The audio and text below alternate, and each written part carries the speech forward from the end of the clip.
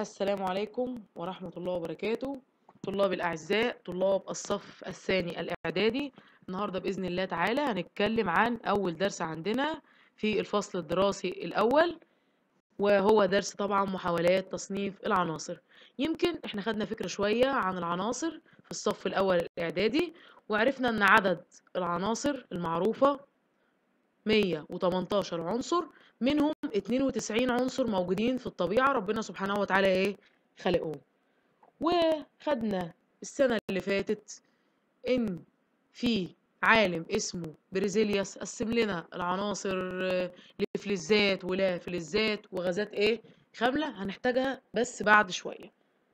طبعا محاولات العلماء تعددت جدا لتصنيف العناصر تبعا لخواصها وطبعا من أهمها ثلاث جداول إن شاء الله هندرسهم هذا العام. قبل ما نتكلم عن الجداول أو المحاولات لتصنيف العناصر عايز ألفت انتباهك لحاجة. طيب هي ليه المحاولات كترت عشان يصنفوا العناصر تبعا لخواصها أولا عشان نسهل دراسة العناصر دي. ثانيا عشان نجيب العلاقة بين العناصر وخواصها الفيزيائية والكيميائية. وطبعا كلنا عارفين إن الخواص الفيزيائية زي الشكل واللون والرائحة وهكذا. خلاص؟ طيب. أول جدول في هذه المحاولات كان الجدول الدوري طبعا لمندليف.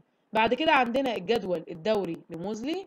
بعد كده عندنا آخر حاجة الجدول الدوري الحديث اللي كلنا ماشيين عليه إيه هذا اليوم لحد يومنا يعني ده. تمام؟ طيب. الجدول الدوري المندليف يعتبر أول جدول دوري حقيقي.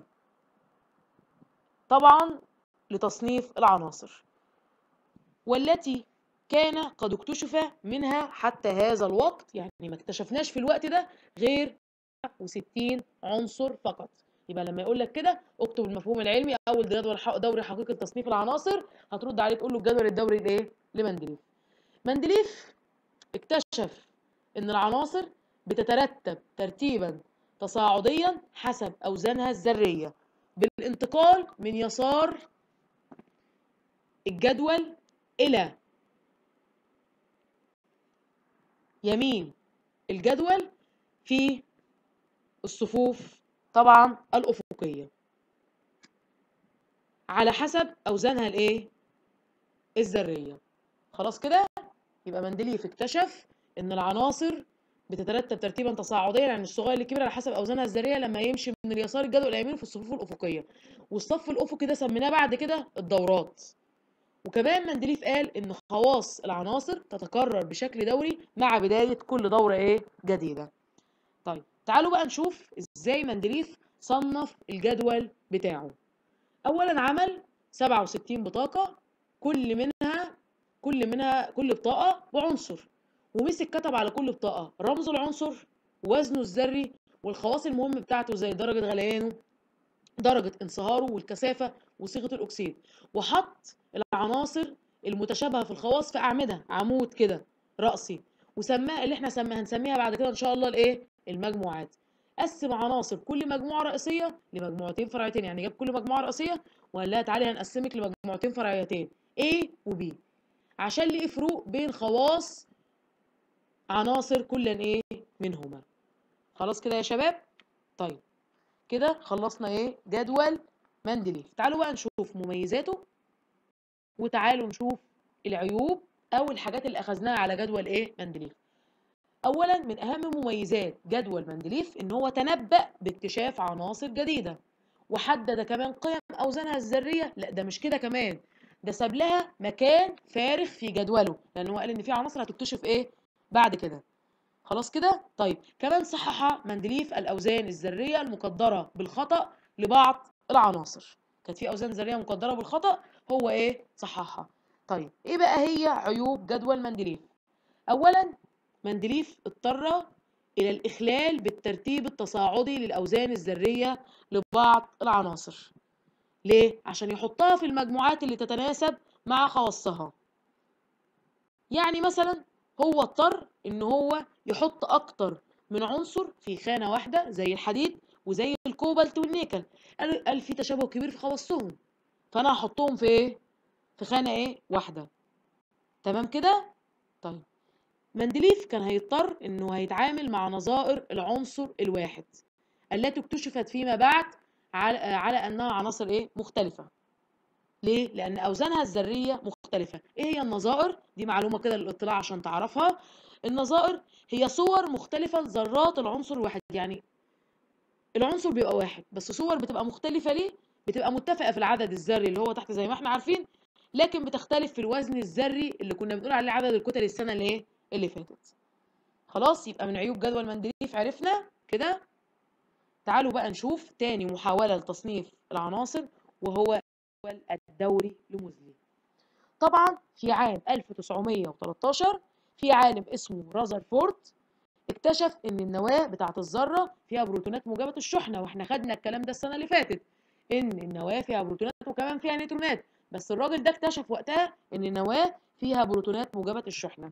العالم بقى موزلي قال لك أنا هدي مصطلح العدد الذري للعنصر على عدد البروتونات الموجبة اللي الراجل اكتشفها رازرفورد ده. يبقى مين اللي أطلق مصطلح العدد الذري؟ ها على عدد البروتونات الموجبه الموجودة في نواة الذرة الإيه؟ العالم موزلي طبعا بعد دراسته لخواص الأشعة السينيه اكتشف إن دورية العناصر بترتبط بأعدادها الذرية وليس بأوزانها الذرية كما كان يعتقد إيه؟ مندليف. يبقى إحنا كده من أول جدول موزلي بقى لحد الجدول الدوري الحديث هنشتغل على العدد الذري. لكن مندليف كان بيشتغل على الوزن الإيه؟ الذري. وكان معتقد طبعا إن الشغل كله على الوزن الإيه؟ الذري. خلاص كده؟ طيب تعالوا كده نشوف مع بعض نكمل. طيب. أهم تعديلات اللي موزلي أجراها أو عملها على جدول مندليف اولا رتب العناصر تصاعديا على حسب أعدادها الذرية. ها مندليف كان مرتبها على حسب أوزانها الإيه؟ الذرية. ضاف للجدول الدوري المجموعة الصفرية اللي هي مجموعة الغازات الخاملة. والعناصر الأخرى اللي تم اكتشافها بعد جدول إيه؟ مندليف يعني مندليف كان عمل الجدول بتاعه واكتشفت عناصر بعد جدول. هو بقى ضاف لها كل ده وضاف لها المجموعة الإيه؟ الصفريه كمان عمل أو خصص مكان أسفل الجدول تحت كده لعناصر أو سلسلتين اسمهم اللانسانيدات والأكتينيدات. ودول هنتكلم عنهم بس إيه؟ قدام شوية في الدرس إيه؟ بتاعنا. يبقى كده اتفقنا؟ موزلي عمل تعديلات على جدول طبعا. مندليف زي ما إحنا شفناها. تعالوا بقى نشوف تالت جدول وصلنا له. تعالوا كده يا شباب وهو الدوري الحديث. الدراسات الحديثة اتعرفت طبعا على التركيب الدقيق طبعا للذرة. في عالم اسمه بور اكتشف مستويات الطاقة الرئيسية وخدتها السنة اللي فاتت اللي هي K L M N O P Q كانوا سبع مستويات طاقة رئيسية. ها اكتشفها وقال إن عددها سبعة في أثقل الذرات المعروفة حتى الآن. العلماء اكتشفوا إن كل مستوى طاقة رئيسي بيتكون من عدد يعني تحتيه أو جواه من عدد محدد من مستويات الطاقة الداخلية وقالوا هنسميها مستويات الطاقة الفرعية. مستويات الطاقة الفرعية بت... آه... بيبقى كل مستوى طاقة رئيسي بيتكون إيه؟ من المستويات دي. خلاص كده يا شباب؟ وبناء بقى على ذلك أعدنا تصنيف العناصر في جدول جديد خالص وسميناه الجدول الدوري الحديث. رتبنا طبعا العناصر فيه ترتيبا إيه؟ تصاعديا يعني من الأصغر للأكبر على حسب مبدئين. على حسب أعدادها الذرية وطريقة ملء مستويات الطاقة الفرعية بالإيه؟ بالإلكترونات. يبقى أنا عندي اتنين أساس علمي لتصنيف العناصر في الجدول الدوري الإيه؟ الحديث. وزي ما قلنا في أول الشرح خالص إن عدد العناصر المسجلة بالجدول الدوري الحديث حتى الآن 118 إيه؟ عنصر. تعالوا بقى كده نشوف شكل الجدول الدوري الحديث. ده طبعا شكل الجدول الدوري الحديث وإن شاء الله بإذن الله هنتكلم عنه باستفاضة في فيديو جديد. والسلام عليكم ورحمة الله وبركاته.